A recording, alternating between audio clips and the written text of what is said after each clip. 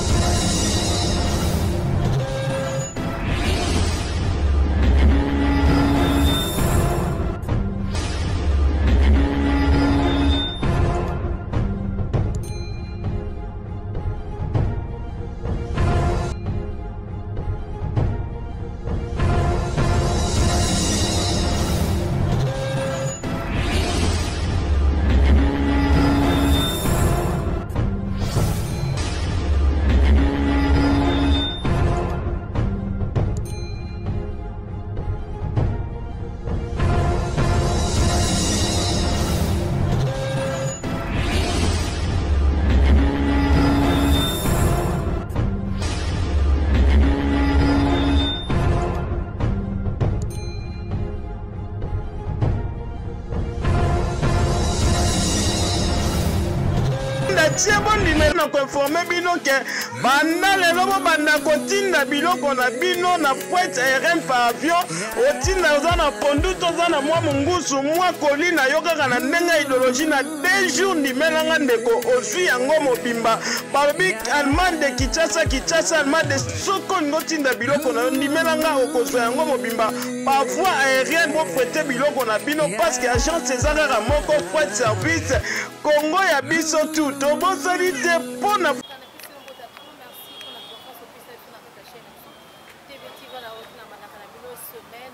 na souhaite bino bon début de la semaine na bana biso nyonso ya tebeti vala ngai wa bino mwana nsuka na bandaka bino semaine nalingi bino mingi bokoki ti kopesa biso confiance bosabone bocommente bopartage bavideo na biso ekosala biso plaisir ato vala oyo semaine ya sika tobandi lendi ya sika oyo tobandi mosala na kati ya chaine na biso tosepeli yango nzambe ndenge abateli biso na bino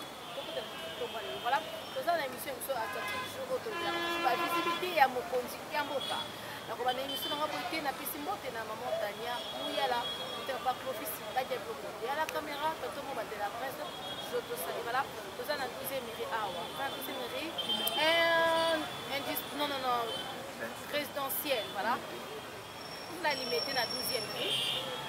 elle abe yango résidentiel esika nini na petit boulevard esika nini basali biso euh, réhabilitation ya nzela dernièrement nasalaki émission na kapela nalakisaka bino ati na 12e rue place nini bacumbolaki me lelo toye totala susu kotuke mosa tokuti da batiele biso arobe balobi arobe oyo batiaki yango butu butu butu batieli biso beto je m'excuse batili biso beton butu butu excusez moi c'est beton eza beton batili biso beton butu butu butu butu bazali kotia butu butu ntango tozongi leda tokuti da esili presque maintenant tokobanda ngo na 12 mire mpasi atili biso beton tokosukisa ngo na kape la presse tolakisaki bino na semaine oyo tikoleka vala sivile dimanche basele toka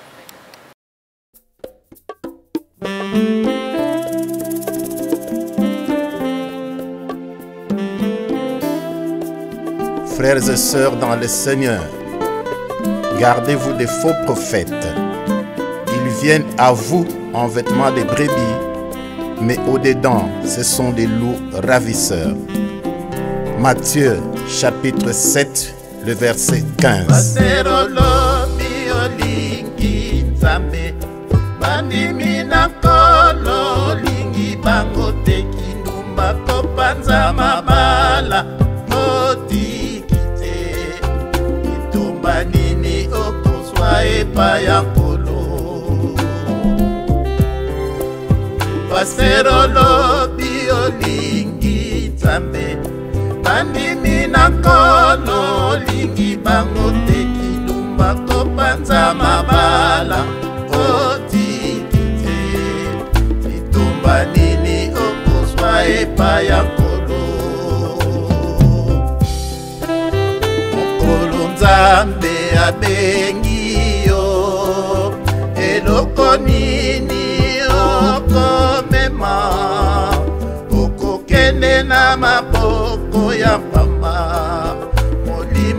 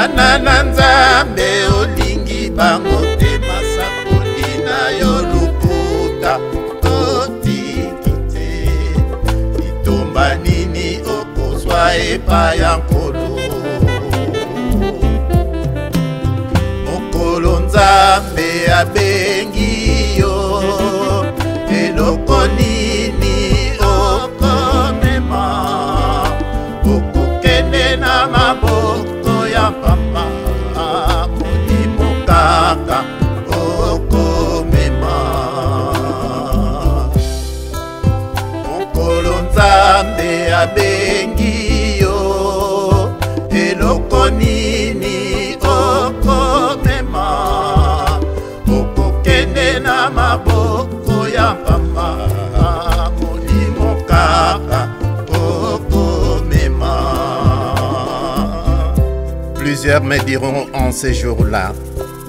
Seigneur, Seigneur, n'avons-nous pas prophétisé par ton nom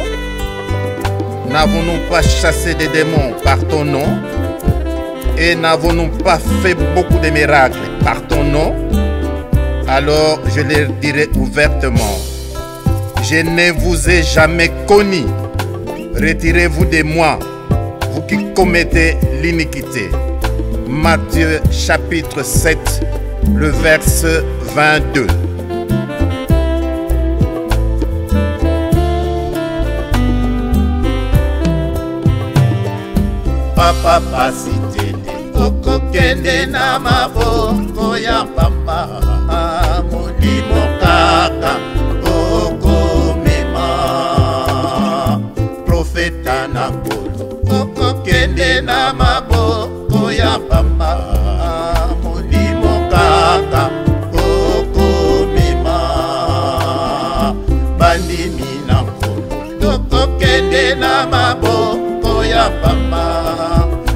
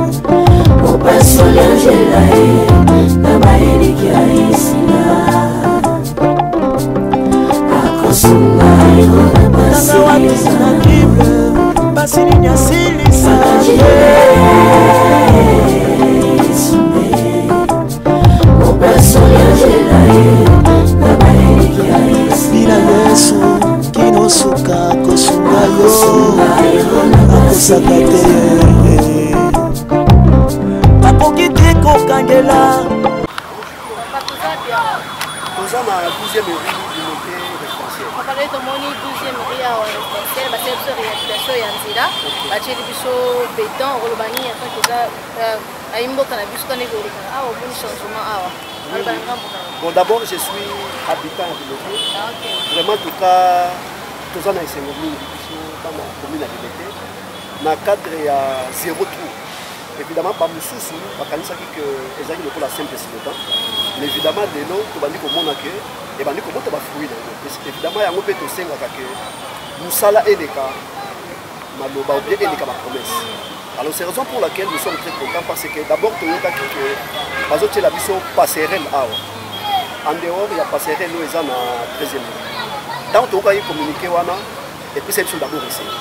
epuis de deux bazobongisela biso nzela donc oyo ebimaka eza kakursi monene ebimaka ntina kapela hmm. alors déjà tomoni déjà awa déjà basi babetone parce que nous avons intérêt marécagé mais évidemment ndenge batie babeton cela veut dire mai etikali nango na se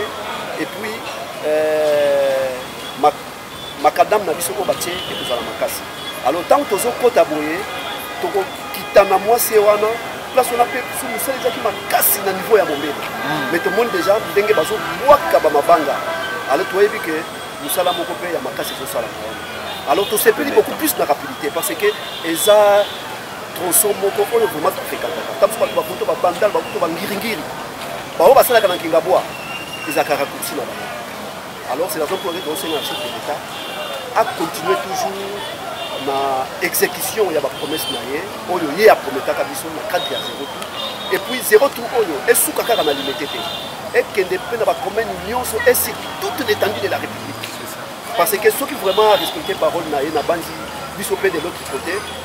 toko reserve ye promesse moko ya malamu na mimekano nzo ya nakosala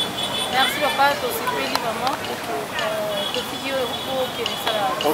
merci beaucoup bayimboka bayoki ndenge bayimboka bazoloba bazosepela ndenge mosala eza kosalama awa to continue toujours na bainterview na biso mama pelagi na papa egène depuis londres balanda biso ya ntongo botala ndenge mosala ezosalama awa na kati ya mombele bala suive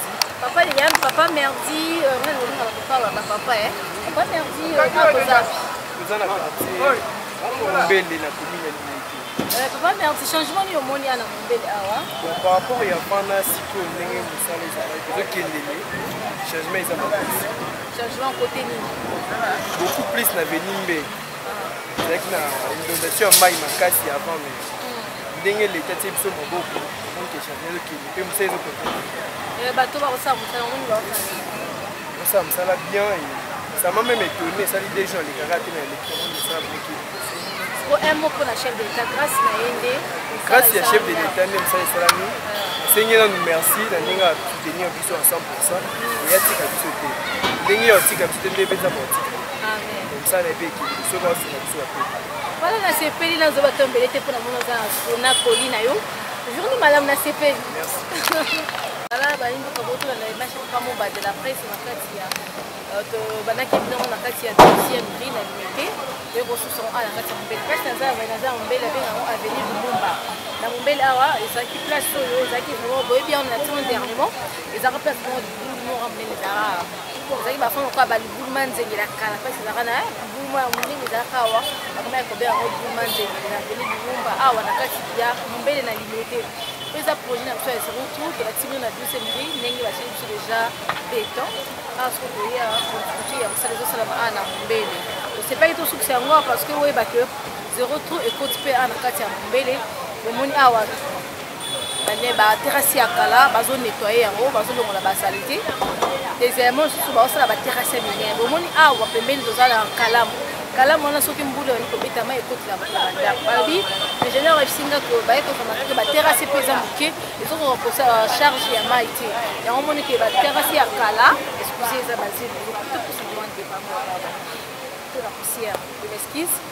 baterase ya kala bazozongola basalite bazobandela baterase ya sika ya minene oyo ekokomaki ke mai atamboli ebeti ezala mai ya kalamu elekisa mai directement na kalamu sans problème parce que baterase ya mike yango wana nde ezalaki kocreye ke eza kocreye badega parce que mai ezali kosupporte yango te e voilà omoni susu kosukana te batie biso ba barre de fer ezali wana baza kotya balobi soki basilisi mosala ya kotoye baterase ya kosala baterase ya sika nde bakoya kobwaka bamelon na nzela na biso balobi bakozwa mabanga bokomona oyo na oyo eza na nsima na ngai oyo bakopanza yango na nzela ntango basilisa kopanza yango nde bakoya kotyela biso awa mpe beton kasi awa bakosala beton parce que ozali terre oyo ebimisaka vraiment mai okomona eza na nsima na ngai babade de fer ezali wana so asisi mosala nyonso etape oyo ya kopanza bamwelo nde bakoya kotia bible fer te bakotia yango bakulele biso beton parce que awa mabele oyo eza bamabele oyo eza ka forme kaka ya 12 mibele oyo ebisaka vraiment mai na nse vala eza justement bacommentaire moke oyo ingénieur alingi kozwa nanga ayebisi nga yango nasepelaki koyebisa bino na émission ya sadi mosala ezosalama na 12 méride ya batie na biso beton etikali awa na mombele na veni lumumba bakotiela biso mpe beton baterasi ya sika baza kosala mpala na kati ya kapela awa ozo na kati ya kapela na mombele mais na veni lumumba voilà projet ozali ya zero trou tozosanga ekende partout na bakomine ebele zero trou ekota na bakomine ya basecteur ebele osalaka meme bien eswa kaka na mombele te na limite te mais ekende mpe ba côté mosusu vraiment esalaka vraiment bien tomi na suka émission nalobi vraiment ebele ezali juste mpona kosala comprendre nini mosu azali kosala mapo ekotela yango correcteur apesi mbote na papa moba excuse de la presse derrière la caméra mbote na mama tania moyala mbote na papa rafael makoba mbote na pdg nikoza milema et mbote na agence frate congo kobenga bopesa baproduit bokozala vraiment dessus te bino rasi ezali ya papa niko kobenga bokontakte bopesa baproduit na bino bokozala vraiment mbote na jean socrate kogo mbote na ngai na papa fabrice mutombo euh, notre mentor mbote na famille na ngai biologique famille mutumbu famille benga je vous salue et mbote na ngai na bafai na ngai nyonso baemaka bakomantaka bavideo tolingaka bino ya trop trate nzambe alola apambola bino tokutani mbala ya nsima bye bye Fred service Congo ya biso tu eye lisusu eye na voie aérienne mpo na koinforme bino ke banda lelo bobanda kotinda biloko na bino na fret aérienne par avion otinda oza na pondu to oza na mwa mongusu mwa koli na yo kaka na ndenge ya ideologie na deux jours ndimelanga ndeko ozwi yango mobimba balobi allemagne de kinshasa kinshasa allemagne de soko olingi otinda biloko na yo ndimelanga okozwa yango mobimba Ba voix aérienne bo prete biloko na bino parce que agence eza kaka moko fret service Congo ya biso tout tobosani te mpo na fret Martin to nzela ya masuwa na nzela ya mai ndimela ngai ya boye ezala te botinda mituka mpe bakoli na bino kaka awa na agence fret service Congo ya biso tout ya mwana mboka Nico Zamilema oyo bato bazwaka biloko mobimba mpe komaka pepele avec pacte na ideologie banda lelo bondimela ngai ete soki oza na allemagne to oza na europe botinda biloko na bino na voi aérien na nzela ya mpepo to ya avion ekokomela yo mobimba na deux jours tuna nga prix combien prix nango eza na prix ya se par kilo ndimela nga makambo ya boetikala ozala te eza kaka na agence fret service congo ya biso tu soki olingi okontakte biso bobenga biso na nimero oyo bokozwa biso mobimba tinda biloko na yo ekokoma avec assurance mpe awa bandeko bayaka kozwa biloko na bango na kimia mpe na esengo nyonso bobenga biso na nimero mpe bomona adresse na biso eza